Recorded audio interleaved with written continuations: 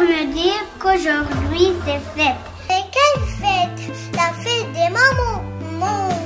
La fête des rois. La fête d'un roi. Et lequel? Le roi de mon cœur? C'est mon papa à moi. Bonne fête, papa. Mouah. On parle souvent des mamans.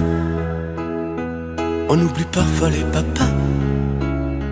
Venus du fond de l'Italie.